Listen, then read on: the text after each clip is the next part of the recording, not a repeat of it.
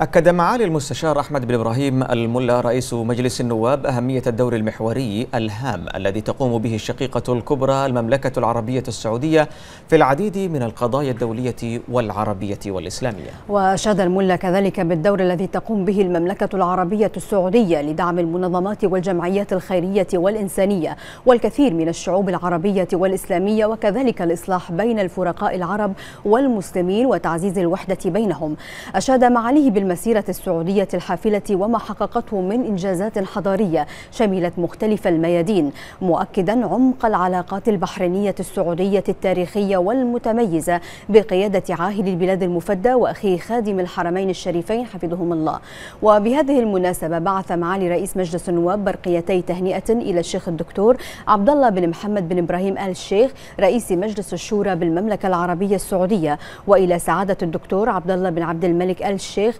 سفير خادم الحرمين الشريفين لدى مملكة البحرين متمنيا للمملكة العربية السعودية قيادة وشعبا مزيدا من التقدم والرخاء وللعلاقات الأخوية التاريخية الوطيدة بين البلدين الشقيقين مزيدا من التطور والنماء